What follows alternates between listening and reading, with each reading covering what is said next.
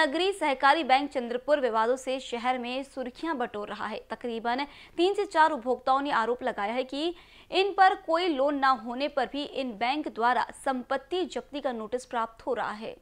ज्योति मुदलिया नामक महिला ने आरोप लगाते हुए कहा कि उनकी प्रॉपर्टी मॉर्गेज कर उन्होंने किसी और को 40 लाख का लोन दे दिया।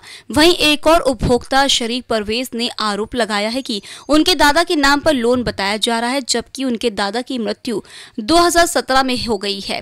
हमारे संवाददाता ने चंद्रपुर जाकर बैंक के अध्यक्ष दीपक पारिक से फ़ोन लगाकर संपर्क करना चाह तो उन्होंने कोई जवाब नहीं दिया। बैंक की तरफ़ से बैंक के मुख्य कार्यकारी अधिकारी वनकर ने चुप्पी साधी हुई थी और प्रबंधक सवालों से बचते हुए बस एक ही जवाब था कि मामला न्यायालय में चल रहा है। अब सवाल बैंक पर यह उठता है कि ऐसे कितने और मामले सामने आएँगे या फिर इसे फिर एक बार छोटा मोटा प्रकरण समझकर टाल दिया जाएगा?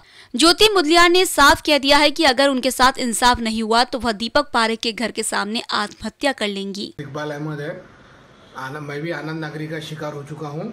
आनंद नागरी ने मेरे दादा के प्रॉपर्टी को लोन बता के जब्ती किया है, चूँकि मेरे दादाजी की मृत्यु 2017 में होगी, हुई है, और इन्होंने 2018 में सारी प्रॉपर्टियों को पांजूर स्थित प्रॉपर्टी को इन्होंने जब्ती की है, जो कि मेरे दादा के मृत्यु के बाद में हुए है, और हमने इनसे बार बार जो है अपने लोन से संबंधित दस्तावेज़ मांगे हैं, लेकिन इन्होंने अभी तक क्या मेरे को कोई दस्तावेज़ प्रोड्यूस नहीं किए यहाँ तक कि हमारी केस अभी कलेक्टर में पेंडिंग है। और इसी बीच में इन्होंने वहाँ की पूरी प्रॉपर्टी को जब्ती करके बेचने का प्रकरण इन्होंने किए है।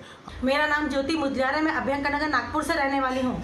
आनंद नाग बैंक ने मेरे साथ साथ काफ़ी लोगों के साथ में धोखा किया है, जिसमें मेरे घर में, मेरे पति के नाम की प्रॉपर्टी पे लोन करके इन लोगों ने, जबकि लोन होता नहीं था, और इन्होंने 40 लाख का लोन करके किसी और पार्टी को लेडी को मेरी ही प्रॉपर्टी का पैसा दे दिया, जिसकी वजह से इन्होंने हमारे घर को ढाल बना के, हमारे घर को फंसा के आज हमारे घर पर नोटिस ला खड़ा किया। मैं यही चाहती हूँ कि मुझे न्याय मिले। नहीं मिला तो मैं दीपक पारे के घर के सामने सुसाइड कर लूँगी